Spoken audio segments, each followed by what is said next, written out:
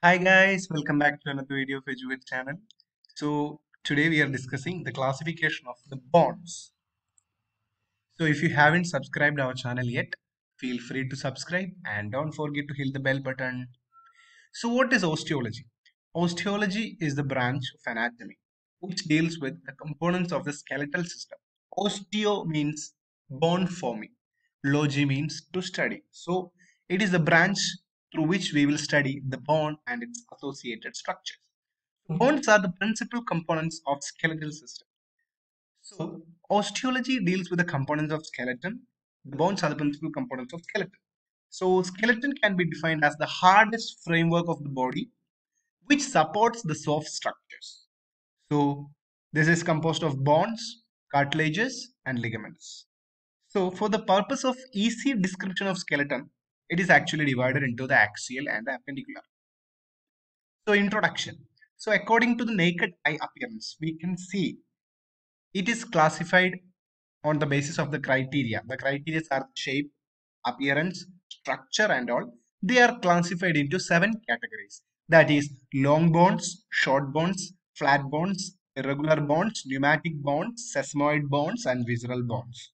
So we can see all those things one by one. So what are long bones? Long bones are actually long hollow cylindrical type of bones which are found in the limbs.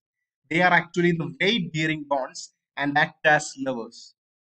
So a long bone has a body or a shaft and two expanded ends that is like a joint which will help us, uh, the bones to join to the body surface. So the shaft consists of a tube or the cylindrical compact bone and contains large medullary cavity which is filled with the bone marrow. So these bones ossify in the cartilage. Example femur, humerus, radius, ulna, etc.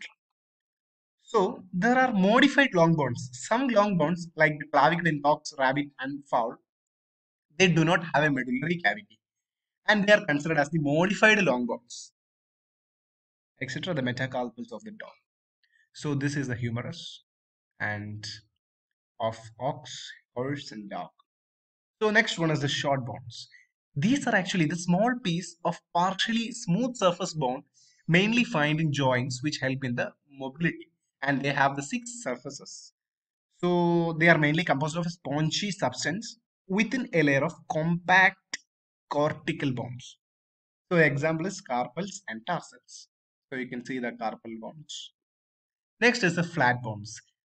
So from the name itself, we can understand that they are flat, irregular, bony plate-like structure which will present in the area which is enclosing the important organs of the body. So the cranial skull bones, the scapula, etc. are the examples. So you can see the scapula.